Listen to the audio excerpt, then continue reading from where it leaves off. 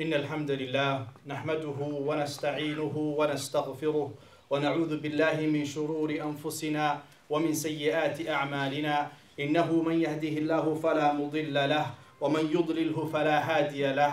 وأشهد أن لا إله إلا الله وأشهد أن محمدا عبده ورسوله. يا أيها الذين آمنوا اتقوا الله حق تقاته ولا تموتن إلا وأنتم مسلمون.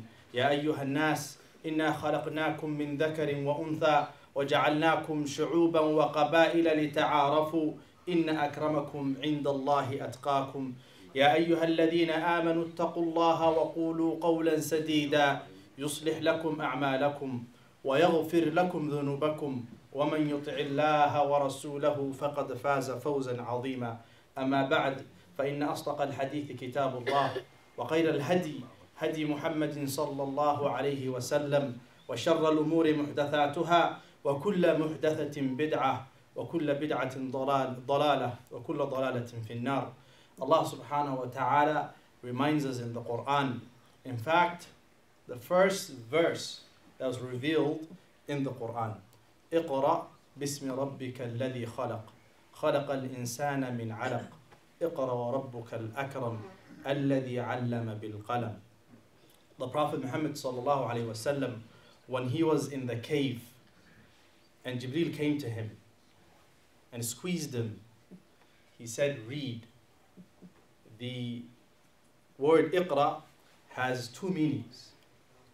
The Prophet understood to be the first one, which is to read. And he says to him, I'm not one who reads. The Prophet was illiterate and he did not know how to read. Jibril squeezed him again Read. اقرأ باسم ربك الذي خلق. And he came to understand that this is the second meaning of what is being revealed to him. Now, the Prophet is going to become someone that re- receives revelation.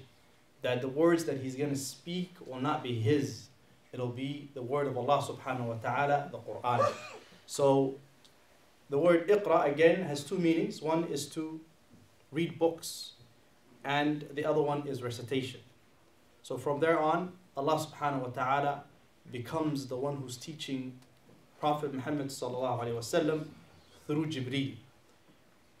In Islam, more than any other religion, more than any ideology, Islam has emphasized knowledge more than anyone else.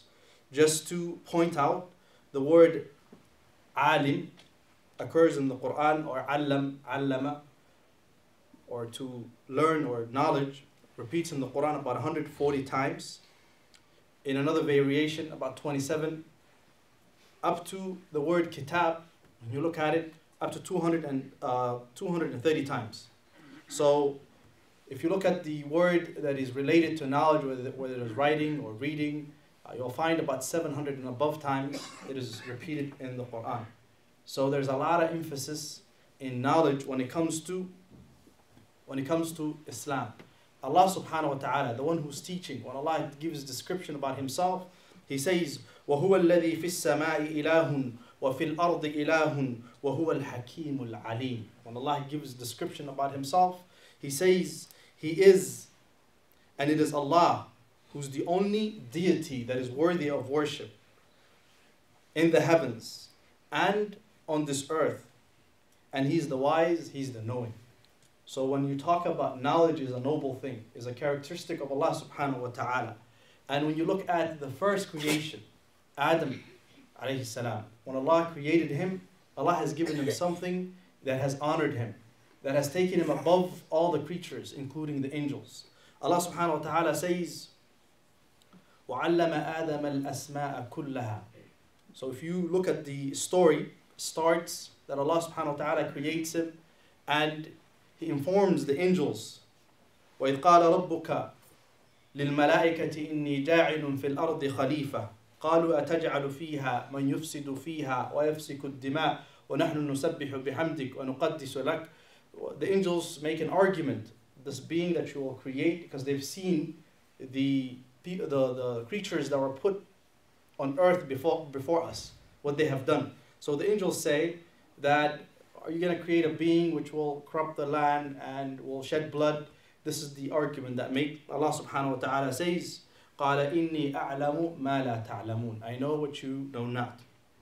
And from there on, Allah teaches them knowledge. Allah teaches them names of things. قالوا سبحانك لا علم لنا إلا ما علمتنا إنك أنت العليم الحكيم. The angels, when they see what Allah has done to Adam, and when, when Adam is able to uh, teach them, because at first what happens? Allah asks the angels, what are the names of these things? Name them. They're not able to name them. And who is the one who comes up and names all the names, well, all the objects? Is Adam salam. And now all the angels are asked to prostrate to Prophet Adam. Why are they prostrating to him? He's not a deity, but rather out of respect. Out of respect for his knowledge, out of respect, respect of what Allah subhanahu wa ta'ala has given him. And Allah subhanahu wa ta'ala has honored such to Prophet, um, Prophet Adam. Allam al insan. Allah subhanahu wa ta'ala is the one who has taught mankind. Allamahul bayan. Allah is the one who taught us the language that we speak. We speak different languages, but the ability for you to speak was taught to you by Allah subhanahu wa ta'ala. Allah is the one who has programmed us, uh, who has given us the ability. So Alhamdulillah, Allah has given us that knowledge. Otherwise, we would have been like the animals, or there is, the, if you look at the communication, the way has the, uh, Allah subhanahu wa ta'ala has given uh, the humans the ability to communicate, the ability to write, the ability to read is far superior when you look at other creatures. So Alhamdulillah, Allah has given us all of this knowledge. And when Allah talked about the people of knowledge, what does He say? قُلْ هَلْ يَسْتَوِي الَّذِينَ يَعْلَمُونَ وَالَّذِينَ لَا يَعْلَمُونَ Allah says, are those are they equal? Those who possess knowledge and those who do not. And the knowledge that we're talking about is the knowledge of the religion. But as Muslims, when we talk about knowledge, for most of the time, we limit ourselves and we say knowledge of the religion. The knowledge that we're talking about is the knowledge of the religion, the knowledge of uh, secular knowledge, as we call it, or any other knowledge which are beneficial. It is the original one who has taught us all of this is Allah subhanahu wa ta'ala. And when Allah has taught His Prophet some of the dua that he should make of all the other prophets as, as well, what was the dua?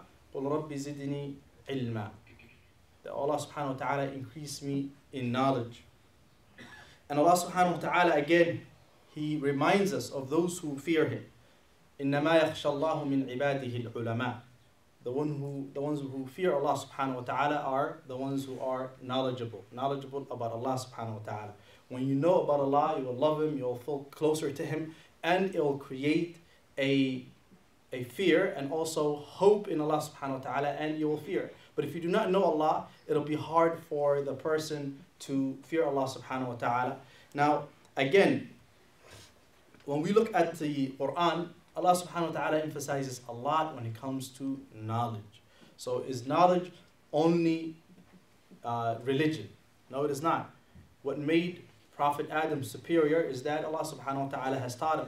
And let's look at let's look at the Islamic history. Throughout Islamic history, you'll find that the Muslims did not only uh, master the the knowledge of the hereafter, but they've also they were also masters of the knowledge of this world.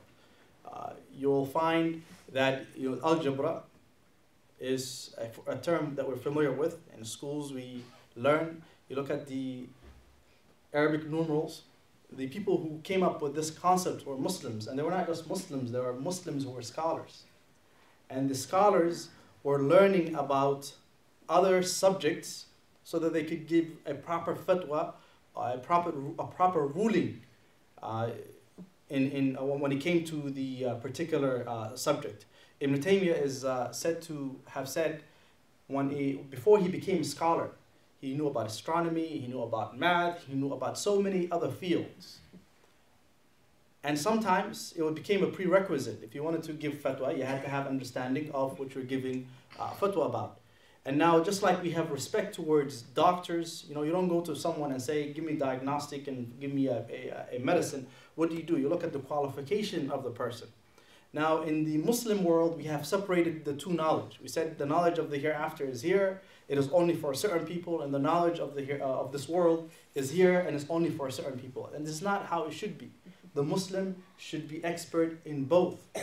Allah put you on this earth, so knowing Him is not an option. Knowing Him is an obligation. The knowledge of the religion is obligation. Also, what is obligation in this country that we live in is for you to have certain skills. We do not want to be beggars of the government. We, we do not want to be dependent to be. Uh, we don't. We don't want. To, we don't want to depend on others. We want others to depend upon us. The Muslim is one who's powerful. The Muslim is one who is given. You're on the other side of the uh, of the uh, of you're, you're on the other side. You're at the side of giving, not the side of receiving. If you're the one who's receiving, it has to be temporary. You got to look at yourself and say, Allah subhanahu wa ta'ala has honored me. Allah has made me Muslim. So I have to have knowledge so that I could be above everyone else, so I could be the one that is followed and respected. Uh, the Prophet Muhammad when he was teaching the Sahaba in many different occasions, there was a Sahabi who was begging. You've seen him, he was begging. He said, Come here. Uh, he said, What do you have? He said, The man did not have much. The Prophet showed him business, how to trade. So he took him, uh, made him, you know, he sold one of his items and he gave him axe and he said, Go out, go and work. So he gave him skills so that he doesn't have to beg. Gave him skills so he becomes independent. Gave him skills so that he can provide for his family. In this country that we live in, the doors, the opportunity is open. No one is gonna teach. No one is gonna tell you what not to do. You know, some other countries, you have your cousin has to be in uh, power, you know, position of power for you to receive something. But here is different. So let's look at what is happening in education when it comes to knowledge, what is happening in this country. Yes, a lot of us are immigrant and we came from Muslim countries and we came here, but it does not mean you settle for less. The latest uh, MCA test that came out is showing, I won't mention the particular, uh, it says people of color, of course, but then they made some subdivision 70% failure rate when it comes to the children that we're sending the school to. And in some cases, it goes up to 80%. And in some cases, when you look at the English learners, which a lot of the people you could say who are the newcomers, you're looking up to 94% failure rate. What happens in this country if the person is not educated? What happens? You go to school, you graduate the bottom of the class, you're gonna end up working, not bad, you're gonna work at, you're gonna end up working at a warehouse. But this is not the position where Muslims need to be at. There was a brother, there was a story a brother was telling us.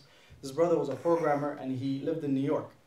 Uh, so they were moving him to Minnesota. So the company's talking to him and the company's telling him, come to Minnesota. The reason being is there are masjids, there are Muslims. Because he said, if I cannot go to the mosque and if I don't find a place to pray, I'm not gonna come.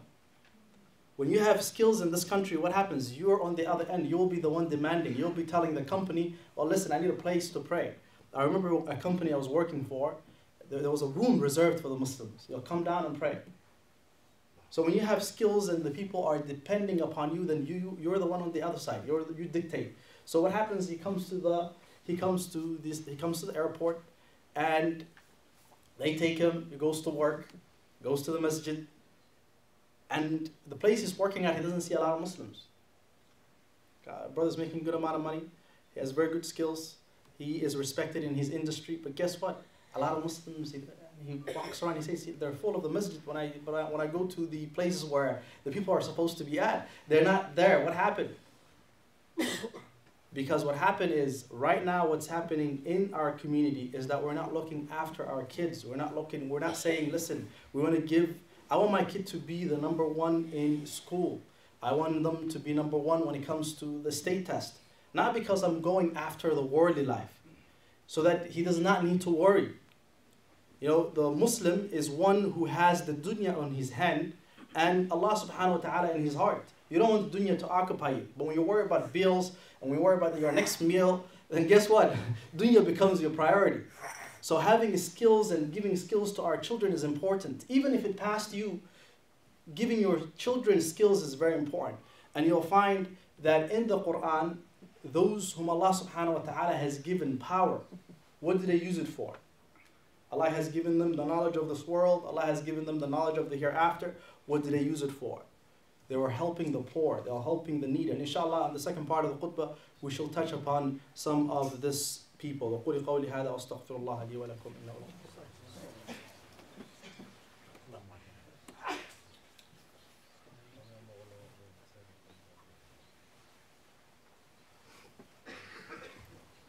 الحمد لله رب العالمين الحمد لله الذي أنزل على عبده الكتاب ولم يجعل له عوجا Allahumma salli ala Muhammad. Allah subhanahu wa ta'ala reminds us and he teaches us about Prophet Sulaiman. Prophet Sulaiman, this is an example of a person who possesses the knowledge of this world and the knowledge of the hereafter. Allah subhanahu wa ta'ala gives Prophet Sulaiman a power to control over the jinn, to control over the winds. Allah has given him power. What does he become? He becomes a person who's caring for the needy. He, he becomes a person who's advocating for the animals. Because when you're given a power, what you do with that power matters. You can have a lot of money, you can have a lot of wealth, you can have, Allah can give you the keys to the dunya, and you could be corrupting uh, the land, and you could be shedding blood. But this is not the case of the Muslim. The Muslim one who submits to Allah subhanahu wa ta'ala is one who uses his power to the right to the, to, to, to, to where, need, where Allah subhanahu wa ta'ala is pleased with. You'll find in some Muslim countries who takes care of the masjid? Have you guys ever asked yourself, you know, normally when it comes to the masjids here, someone will come here and say, brothers, we're building a masjid, we want you guys to contribute. Some people are sitting here, they get irritated because they don't have anything to give. But if you were someone who had a lot of skills, let's say if all of us here had certain skills, and by the way, I'm not speaking for everyone, but from the scores that the government is releasing, if our children are failing 80%, you can have what kind of parents are sitting at home. You could, you could, you could guess. And this is something else you guys could check out. You go to the schools where a majority of the people that are attending are Muslims, you'll find 98%, 95% some of the schools free reduced lunch. We did not come to this country to be beggars. We came this country to have opportunities and to be number one. When, when people look at the Muslims, they should say, you know what, this is an example of how people should be. If you look at Indonesia, if you look at Malaysia, if you look at all these countries, they became Muslim for what reason? They've seen honest people, they've seen people who are working hard, they've seen people who are ahead of them. They, there are people who, who are worthy of being role models. And this is how the Muslim needs to be. And this is the example that Allah subhanahu wa ta'ala has given us of Prophet Sulaiman. You'll find another person in the Quran when Allah subhanahu wa ta'ala talked about Dhul Qarnayn in Surah Al-Kahf, I'm sure some of you already recited the surah today. What happens to him? He goes out, he finds people that are being uh, oppressed by Ya'juj, Juj or Ma'juj. And what does he does? What does he do for them? And Allah says He has given him knowledge of this world as well. He uses his power to help the needy. He uses his power to do good. And this was this is what happens when you get certain skills. You get money, what do you do with your money? You build a masjid. There was a story of two brothers in one of the Muslim countries. The two brothers used to fight over who's going to change the carpet because they both have a lot of money and someone has to change the carpet. So they both want to do it. And there's only opportunity you know, he wants to get the contract to change the uh, masjid, masjid uh, uh, the, the masjid uh, uh, carpet because he has a lot of money. Allah subhanahu wa ta'ala has given him skills. He was able to do something with his things and he's helping the poor and he's helping the masjid of Allah subhanahu wa ta'ala. Sometimes you'll find some of the uh, dirty places happens to be masjid. You'll come in or a place where we teach our children the Quran on the weekend. What happened to the Muslims who were supposed to come in and help our children on the weekends? What happened to the Muslims who were supposed to help these children that are going to school that are not doing well? Where are we? The Muslims in, uh, if you look at the Muslims several, one, a thousand years ago, if you look at in Baghdad, if you look at in uh, present day Spain, Al-Andalus, the Muslims were the forefront because of education. But when we left education, what did we become?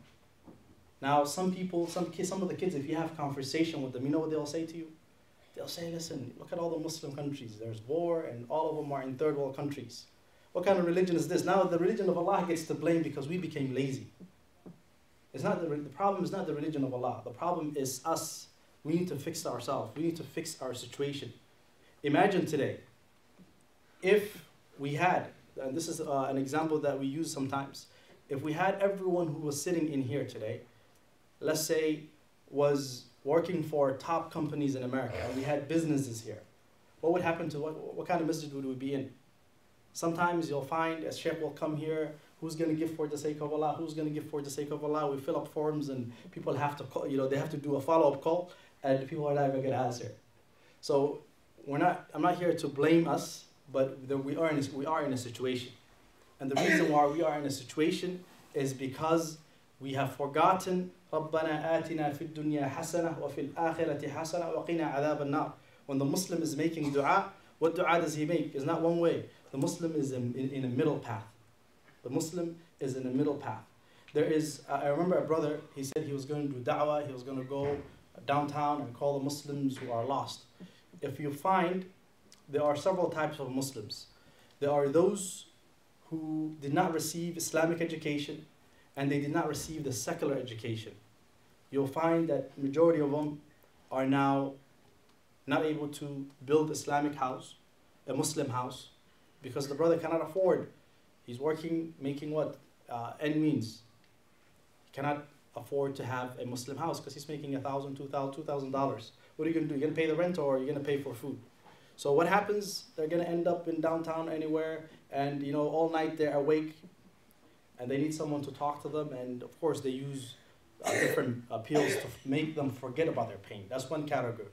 The second ca category you have, there are those who have put emphasis in the Islamic knowledge, and by the way, this is like the minority. And they have produced children who are hardworking, they know their religion, they know themselves, they go out, but again, he is struggling. But Alhamdulillah, at least his Iman is saved. And there are those who parents who have produced children who are working for big companies, they're successful, they're top of the school, and they do not know what Sami liman hamida means. We've given them halfway knowledge. We did not teach them the knowledge of the hereafter. But what we want, the type of a Muslim that we want, inshallah, is a person who, when it comes to his worldly life, he's number one. But when it comes to the hereafter, he's also number one. And there are those within the Muslim community who fall into that category. But we could say that's not the majority. That is not the majority. And in this country, when your child gets A or when your child becomes a number one, no one is going to say, oh, he is this type of skin color, he's a Muslim, take it away. And one place where we could all have an equal race is schools uh, in education. So let's make sure we produce strong Muslims who are uh, competing in this world and in the hereafter. Inshallah, final reminder, again, when we talk about uh, knowledge of this world, remember, it is Allah subhanahu wa ta'ala who is the original one who was teaching people. He's the one that taught Prophet Idris how to write. He's the one that taught Prophet Yusuf dreams. He's the one that taught Prophet uh, Sulaiman and Dawood. Dawood was taught, Allah subhanahu wa ta'ala made easy for him the making of a metal. So he could make it out of a garment. So if you look at, for us as Muslims, knowledge is not separated. So of course, the knowledge of the hereafter is noble, but let's not forget that which Allah has given us in this world. Let's become volunteers for the weekend schools because this is where our children are at. At least let's put some time, let it be one hour, two hour of volunteering towards making the other Muslim neighbors or your other Muslim brother uh, better. Because some people have language barriers, some people are new to the country, some people might not know the opportunity that is out there. We're Muslims, we're connected, so let's help one another. And this is how to become successful in this world. And the final verse, remember, Allah subhanahu wa ta'ala has given success to Prophet Yusuf. Why? Prophet Yusuf becomes the minister who is in charge of finances who's in charge of giving the food and everything like that in Egypt. Because number one, he was honest. They looked at him, this person is honest and he's able to do distribution. In this country, we should be producing Muslims that everyone says, Muslims and non-Muslims, this person is worthy of that position. Let's put him, we trust him. Let's build a connection with our neighbors. And all this happens with knowledge. If you do not know about Allah subhanahu wa ta'ala, how are you going to talk to your neighbor? If you do not know about how your neighbor is feeling, how are you going to talk to them? So what we need is knowledge of this world and the hereafter. And towards the end, when Prophet Yusuf is dying, what dua does he make? رب قد آتيتني من الملك وعلمتني من تأويل الأحاديث فاطر السماوات والأرض أنت ولي في الدنيا والآخرة توفني مسلما وألحقني من الصالحين He says, My Lord, you have given me something of sovereignty and taught me interpretation of dreams, the creator of the heavens and the earth. You are my protector in this world and in the hereafter. Cause me to die as Muslim and join me with the righteous. This is the dua that he made. Why? Allah made him successful in this world. And he was thankful to Allah subhanahu wa ta'ala. And he did not forget his hereafter. He's making dua to Allah. May Allah subhanahu wa ta'ala give us the iman to stay strong Muslims. May Allah subhanahu wa ta'ala give us knowledge so that we don't become dependent on others. May Allah subhanahu wa ta'ala guide us to the right path. اللهم انصر المسلمين والمسلمات والمؤمنين والمؤمنات الأحياء منهم والأموات إنك سميع الدعاء اللهم صل على محمد وعلى آل محمد كما صليت على إبراهيم وعلى آل إبراهيم في العالمين إنك حميد مجيد. أقم الصلاة.